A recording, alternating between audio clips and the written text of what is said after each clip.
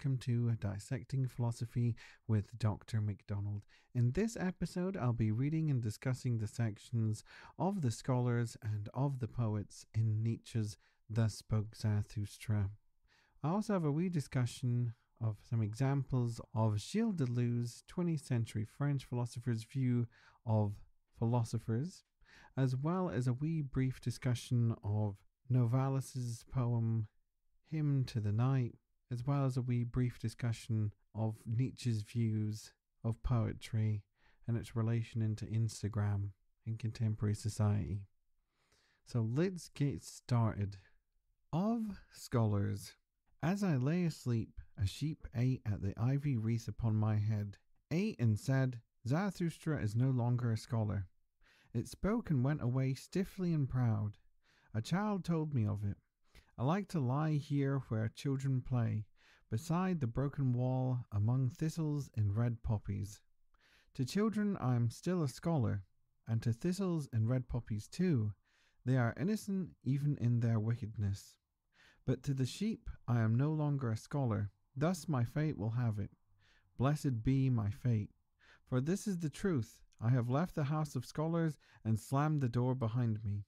Too long did my soul sit hungry at their table. I have not been schooled, as they have, to crack knowledge as one cracks nuts. I love freedom and the air over fresh soil. I would sleep on oxskins rather than on their indignities and respectabilities. I am too hot and scorched by my own thought. It is often about to take my breath away. Then I have to get into the open air and away from all dusty rooms. But they sit cool in the cool shade. They want to be mere spectators in everything, and they take care not to sit where the sun burns upon the steps.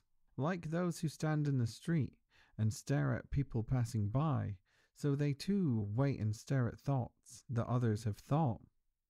If one takes hold of them, they involuntarily raise a dust like sacks of flour, but who could guess that their dust derived from corn and from the golden joy of summer fields?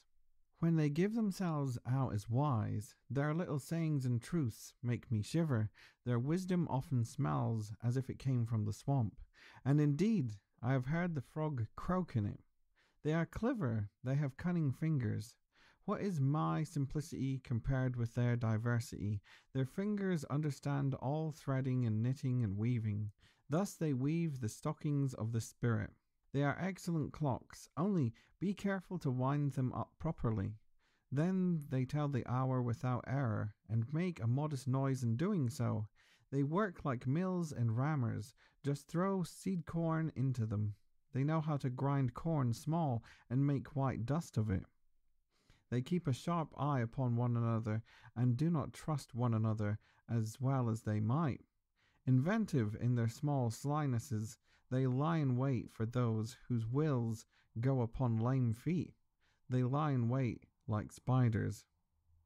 I have seen how carefully they prepare their poisons. They always put on protective gloves.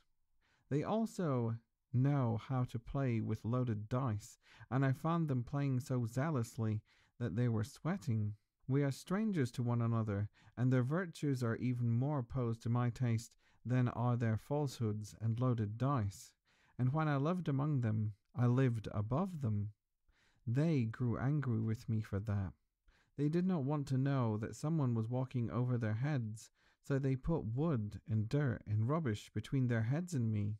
Thus they muffled the sound of my steps, and from then on the most scholarly heard me the worst.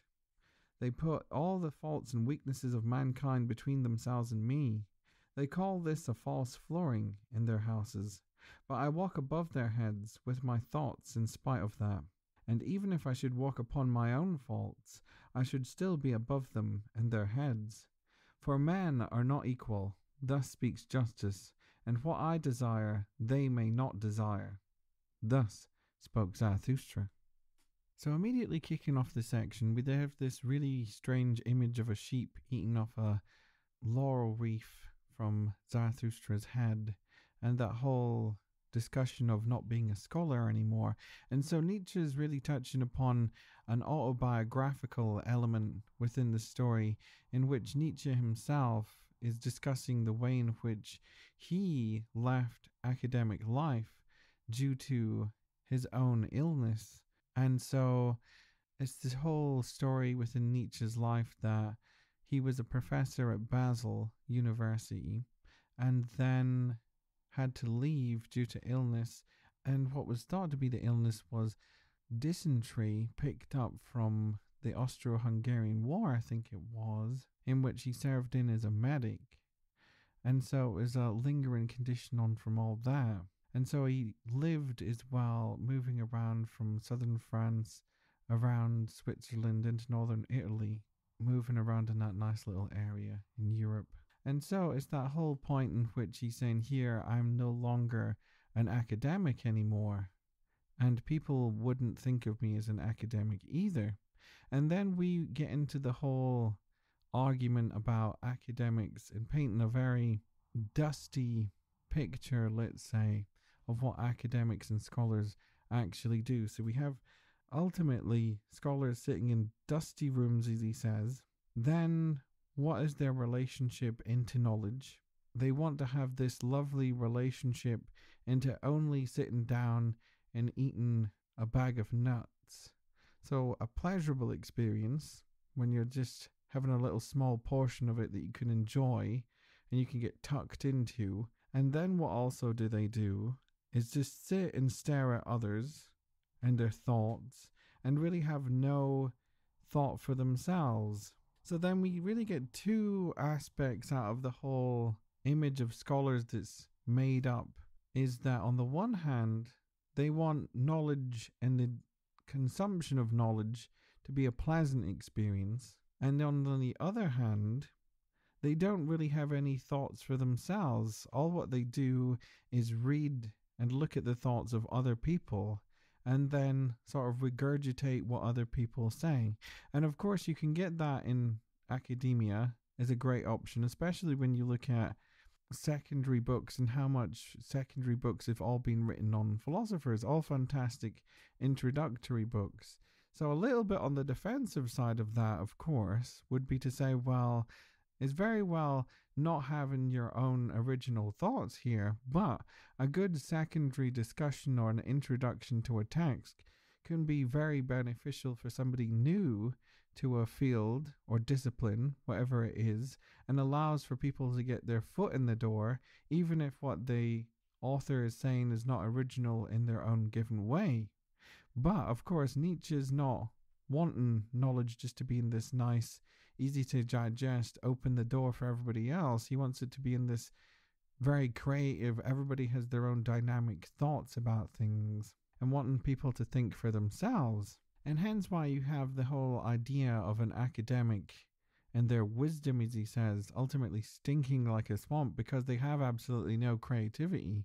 And so their own ideas are just stinky in a way. They're not fresh because the other image that we also have that's painted as well is one of Zarathustra himself out of the dusty rooms into the fresh open air. And not only that, then we also have the idea of knowledge as well, of being challenging in a way, and for your own view to be challenging the norm and not for it to be pleasurable in any given way and for you to tackle hot topics and hot issues. That whole discussion there of they don't want to touch the hot steps of the sun, so they don't really want to touch any of the dangerous or hot topics for academics. They just want it all to be nice and lovey dovey. And then we also have the image of an academic being very devious and cunning and all just wanting to have a relation into their own power and how much they can enhance their own position and waiting for somebody else to stumble, therefore to then take on that position themselves and therefore enhance their reputation and enhance how much their money they're getting and so on. Whilst Nietzsche himself is painting a nice image for his own life right now, out with all that academic life, and to say, well, they're stuck in the dusty rooms, but actually I'm out and about having a wee walk in the fields, going about in the mountains and so on, enjoying life and thinking about issues that actually academics don't. And what my issues are doing is touching upon challenging, thought provoking issues that most people don't even touch. Shouldn't that be what knowledge is all about? And of course, Nietzsche's got the point here of, well, of course, that's exactly what academics should be doing as well. And we should be taking people to task for not challenging ideas and touching upon or wanting to deal with hot topics or potentially even dangerous or challenging topics as well. Everything should be open for discussion and debate because the moment that you start to lose all the element of debate and discussion is precisely when you then run into the whole ideas of fascism and totalitarianism, which of course nobody wants. You always want to have that open discussion and debate to go on in a very democratic fashion. So Nietzsche's really saying that in order for academic life and scholars to have worth and value in what they're saying is not simply just to sta- sit and stare, as he says, at other people's thoughts and all take it in, but rather to then use what you've learned in order to apply it to society. And then, how does such and such issue or topic within a given field and within a given discipline. How can we apply this to contemporary society? How can we make it work? How can we make it function? Or rather than just to sit there and write about the umpteenth text upon a given already popular subject matter, the whole idea in Nietzsche is therefore like, no, let's use this, let's challenge this, maybe even let's challenge the whole idea of the person in the first place. And what is a good example of actually a way in which an academic does challenge how we think upon at least the traditional models within philosophers is Gilles Deleuze, who's a 20th century French philosopher. And Deleuze has some really interesting ideas and discussions about philosophers that go against the grain, basically, between what's all been set up as the accepted image of them. And that would be great, of course, because that's exactly what Nietzsche would want us to do is just not there sit and accept a given view of how we should view things, even when it comes to viewing other people, but then to then challenge that. And a very brief example of the way in which Deleuze challenges how we think about people is the two examples is that of Spinoza and Leibniz. So, Spinoza and Leibniz are traditionally treated within philosophy as rationalist philosophers, therefore emphasize the importance of reason. And this is opposed to empiricism, which emphasizes a very much more scientific approach to things, in which we have the British empiricist philosophers of John Locke and David Hume.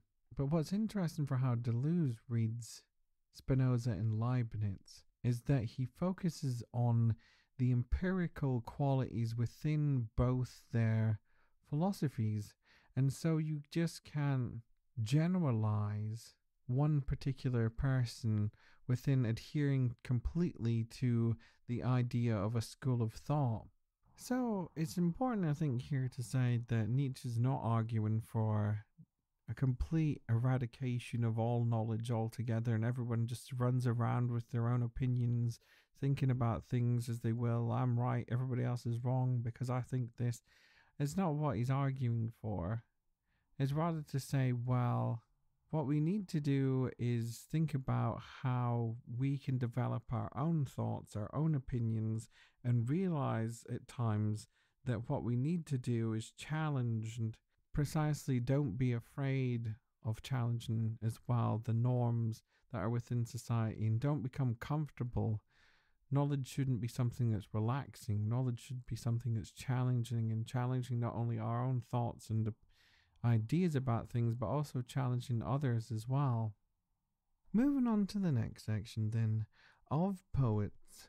Since I have known the body better, said Zarathustra to one of his disciples, the spirit has been only figuratively spirit to me, and all that is intransitory, that too has been only an image. I heard you say that once before, answered the disciple, and then you added, But the poets lie too much. Why did you say that poets lie too much? Why? said Zarathustra. You ask why? I am not one of those who may be questioned about their why. Do my experiences date from yesterday? It is a long time since I experienced the reasons for my opinions. Should I not have to be a barrel of memory if I wanted to carry my reasons too about with me? It is already too much for me to retain even my opinions, and many a bird has flown away. And now and then I found in my dove cote an immigrant creature which is strange to me and which trembles when I lay my hand upon it. Yet, what did Zarathustra once say to you? That poets lie too much. But Zarathustra, too, is a poet. Do you now believe that he spoke the truth? Why do you believe it? The disciple answered, I believe in Zarathustra. But Zarathustra shook his head and smiled. Belief does not make me blessed, he said least of all belief in myself. But granted that someone has said in all seriousness that the poets lie too much, he is right. We do lie too much. We know too little and are bad learners, so we have to lie. So, immediately kicking off this section, we have a relation into Goethe's Faust. It's the initial quote here that's been paraphrased since I have known the body better, said Zarathustra to one of his disciples, the spirit has been only figuratively spirit to me, and all that is intransitory, that too has only been an image. And then, nicely at the back, as well in the notes, we see that this is coming from the final mystic chorus of Goethe's Faust Part 2, and there's going to be references to this as we go along in this section. And this is the translation of the section from Faust. It has at the back here in the notes. All that is transitory is but an image. The unattainable here becomes reality. The indescribable here is done. The eternal womanly draws up upward. And so for Goethe as well, we see that the whole idea of things being intransitory and being an image that then enables us to go into this whole metaphysics and idealistic state upon things much greater and grander than what the world itself is. But what Nietzsche's picking up on and sort of poking a bit fun is the whole idea of this move above everything that happens within poetry of this whole relation and becoming greater and moving above the world itself, and therefore having a sense of belief as well in something that is greater than the world and moving past that as well. When he has that whole initial wee discussion about belief, how do I know what I believe in the past, as he says, is all completely gone? And therefore, it's making fun of the fact that the very idea of becoming something more than a temporary thing in itself is laughable because forgetfulness takes place. And how are we able to have a whole idea of something that's perfect when we're not going to be able to have an idea of what perfect is? Because our whole idea in the first place of something that is perfect will be affected by our memory. And so, saying here, really, belief is not something that's persistent, it's something that's not strong at all. In fact, belief lies to us because belief is something that's very fragmented based upon our memory and forgetfulness. And hence why he's sort of just sort of shaking his head at his own disciple because he wants his own disciple to not believe in him in the concrete sense of following around as you do in the whole sort of master student relationship, but he wants his own student to realize basically the flaws of his own belief in believing in him in the first place. Continuing on then, and which of us poets has not adulterated his wine? Many a poisonous hotchpotch has been produced in our cellars. Many an indescribable thing has been done there. And because we know little, the poor in spirit delight our hearts, especially when they are young women. And we desire even those things the old women tell one another in the evening. We call that the eternal womanly in us. And we believe in the people and its wisdom, as if there were a special secret entrance to knowledge which is blocked to him who has learned anything.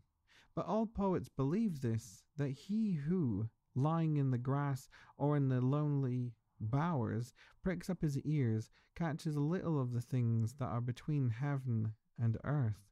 And if they experience tender emotions, the poets always think that nature herself is in love with them, and that she creeps up to their ears to speak secrets and amorous, flattering words into them. Of this they boast and pride themselves before all mortals. Alas, there are so many things between heaven and earth of which only the poets have let themselves dream, and especially above heaven, for all gods are poets' images, poets' surreptitiousness. Truly it draws us ever upward, that is, to cloudland. We set our motley puppets on the clouds and then call them gods and supermen. And are they not light enough for these insubstantial seats, all these gods and supermen? Alas, how weary am I of all the unattainable that is supposed to be reality. Alas, how weary am I of the poets. When Zarathustra had spoken thus, his disciple was angry with him, but kept silent, and Zarathustra too kept silent, and his eye had turned within him, as if he were gazing into the far distance. And at length he sighed and drew a deep breath. And so then we have Nietzsche say, well, what do poets exactly do? They unlock the door, in a sense, as he says, or at least allow us a little glimpse into something that's meant to be secret and hidden from us. And if only we could therefore attain that little hidden secret that's there. And so, what is, of course, is this is a much higher, greater intimacy with the world and with nature itself on this sort of idealistic plane. Or, as he says, fantastic line as well for Cloudland. They create this lovely Cloudland. You can just imagine all that lovely fluffiness everywhere around us. And poets get so enraptured by nature herself, as he says, that then they think they're having this intimate, secret relationship with the world. And therefore, they then create this idealistic images and ideals and so forth that everyone want to attain. But then we have that fantastic line, of course, how weary am I of all the unattainable that is supposed to be reality. And it's such a fantastic line as well because we could apply that precisely to everyday life in the sense of how much is that line applicable of I'm weary of all the unattainable that's supposed to be reality because that is what reality is. In an everyday sense as well for us is always in the unattainable only for the select few of having a fantastic car having a fantastic home having a fantastic job. And it's like what Nietzsche is saying how weary do we just become of all this idealistic images that are just placed upon us in this like cloudland reality that's being presented towards us.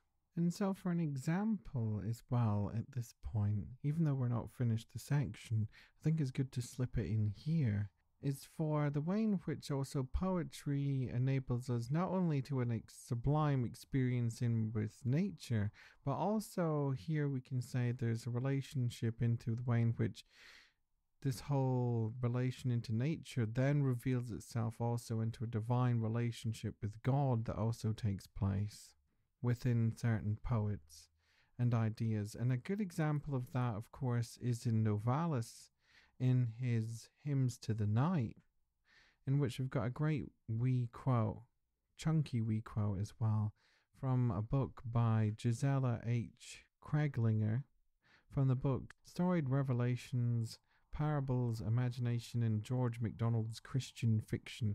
So it's a nice little bit in Novalis in the midst of all this. And it says, In the first hymn, Novalis asks of the night, What holdest thou under thy mantle? That with hidden power affects my soul. In hymns 4 and 5, Novalis answers this rhetorical question. The night became the mighty womb of revelation. This revelation is centered for Novalis around the birth, life, death, and resurrection of Christ, which he reflects upon in the last four hymns. Novalis writes, Inconsumable stands the cross, victory flag of our race, and in, in death, eternal life was made known.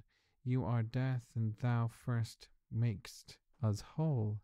Novalis's fascination with the night and death is not with deaths as such as Wolff and Giorgio Spina have argued, for example, rather it is because of Christ's death and resurrection that one's own experience of suffering and loss can become the very place we encounter God.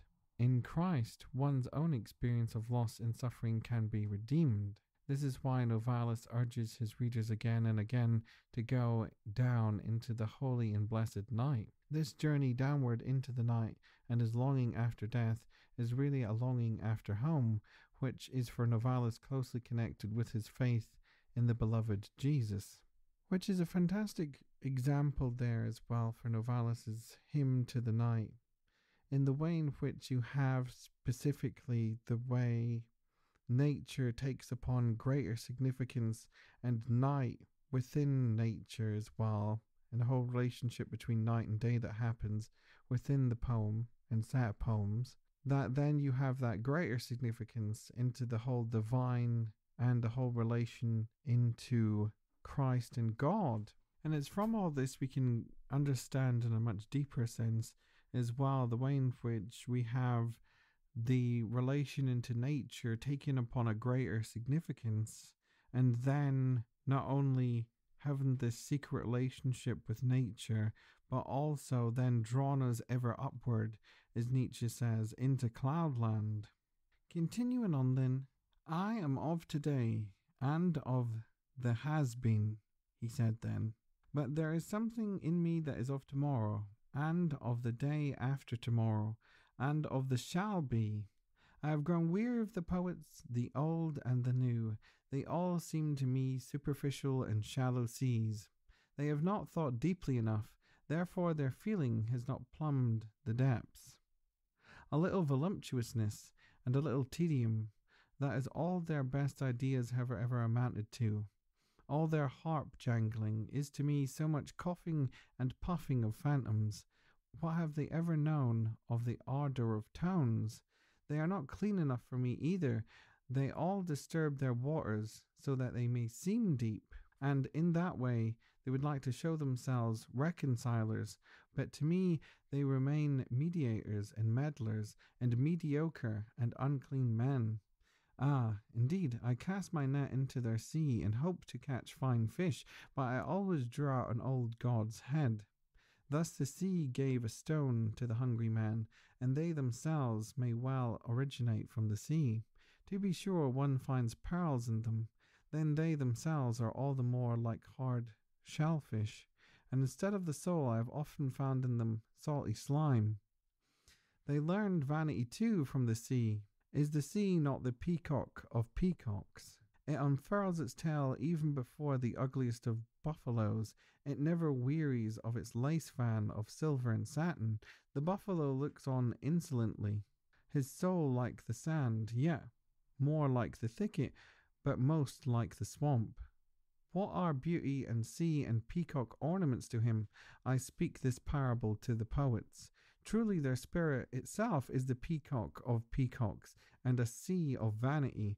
The poet's spirit wants spectators, even if they are only buffaloes. But I have grown weary of this spirit, and I see the day coming when it will grow weary of itself. Already I have seen the poets transformed, I have seen them direct their glance upon themselves. I have seen the penitence of the spirit appearing. They grew out of the poets. Thus spoke Zarathustra. So, rounding off the section, then we don't have a very good image of poets at all. that's made up here because ultimately saying poetry attempts to try and be deep and think about deep topics and deep subjects about things, but ultimately it's all just an appearance and it all remains very much at surface level. Ultimately, there's nothing really thought provoking or deep within what they say. And then we get an interesting little psychological jab in there as well. Ultimately, say, well, why do they even do poetry in the first place?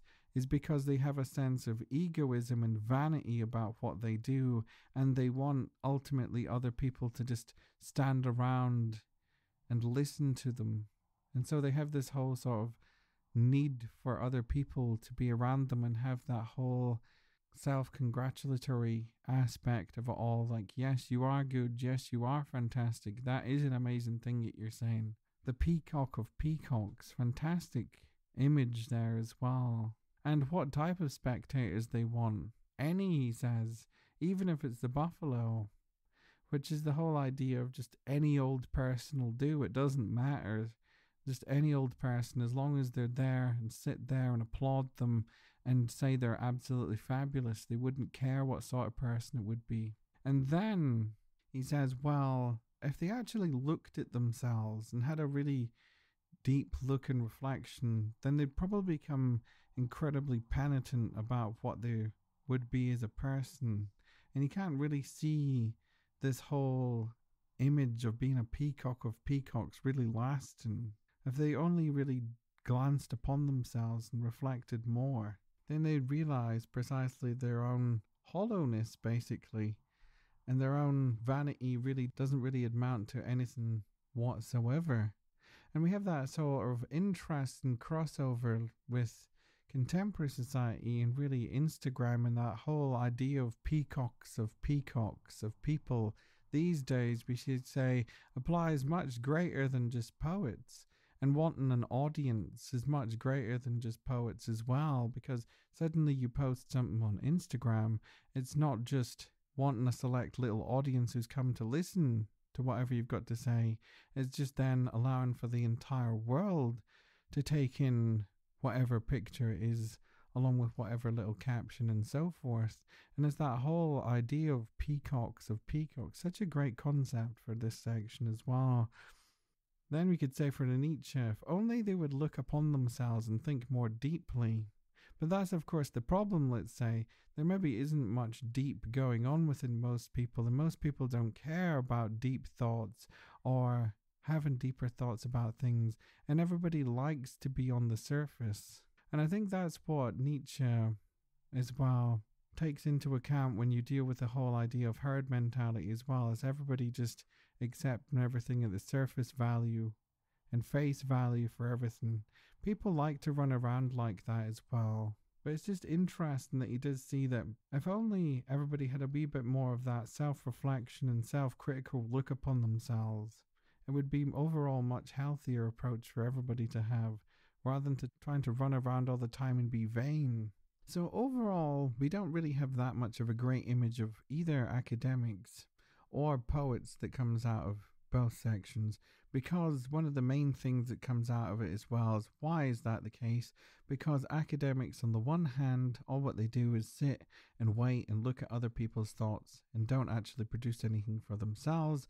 And on the other hand, for poets, all what we have is this relation into nature and therefore getting into a nice sublime relationship with nature and into cloudland, as Nietzsche says.